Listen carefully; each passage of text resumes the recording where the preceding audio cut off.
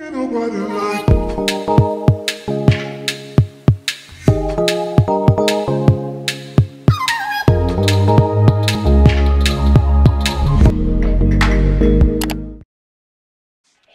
guys, and welcome back to Celeste's Corner. So today I'm going to be showing you guys how I clean my makeup brushes and my so, so dirty beauty blender. So I use the Clean and Clear Daily um, Pore Cleanser to clean my makeup brushes and my beauty blender because it's not harsh on my skin or my brushes. And because I have sensitive skin, I don't feel comfortable using, you know, brush cleansers because we don't know what's in those things. Those have a lot of chemicals. So first I wet my makeup brushes with warm water, obviously, and I put a little bit of that cleanser onto my brush. Then I'm going to be using this wide tooth comb that you guys see in the sink, and I just brush my brush onto that comb. And it's that simple. It comes off so easy. I love this technique.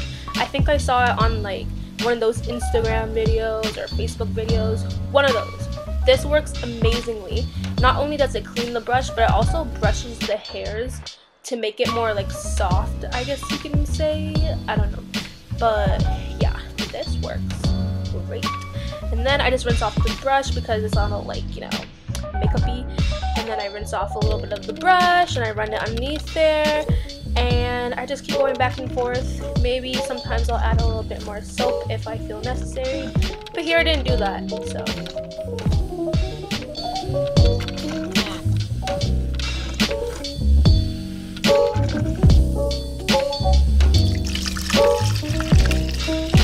So once my brush is completely clean, I will take two fingers and just wipe the brush between my two fingers. I love this technique because I'm not being too harsh on the brushes. Before I would pull on it and it would be way too hard and it just pulled some of the hairs out and we don't want that.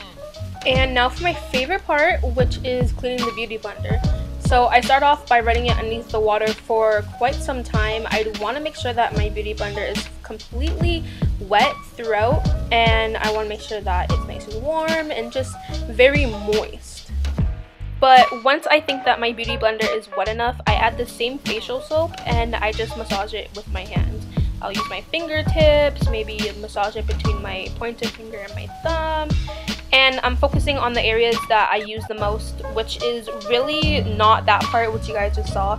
That part is for foundation. I don't really wear foundation often. I just haven't cleaned this thing in forever. Um, but I use the side where the concealer is, like, you know, the pointy part. So I will focus the soap on that side and the pointy side. And before I finish this video, I want to shout out my own social media links. They are all linked down below and they're on my end screen. So you guys will see it two times and you just saw it. So, you know, add me on Twitter, Snapchat, Instagram. You won't be let down. So as you guys saw, I added a little bit more soap and this is pretty much all I do. So I add soap, massage, rinse out, soap, massage, rinse out. And I do this until it's all clean. I make sure that I squeeze it in my hand like I'm doing here.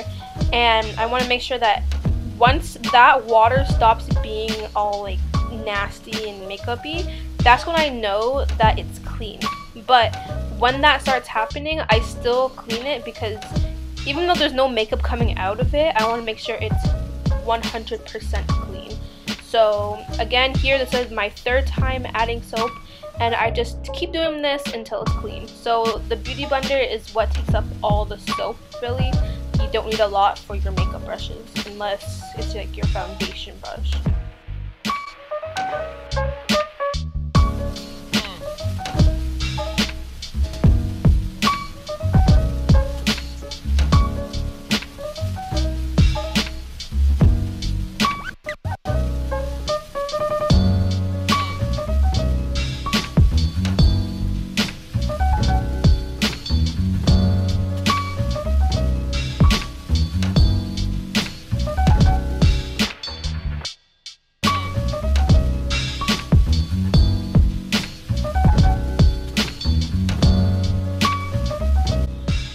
And there we have it, a clean, beautiful beauty blender. I know you guys see dark spots, but that's because my foundation and my concealer are a darker shade. Um, so obviously it's gonna start to stain because this beauty blender is kind of a little bit old, but it is so clean. I can rub it on a white piece of paper and it's gonna be completely clean. So thank you guys for watching. Give this video a thumbs up and subscribe for more videos. Bye guys.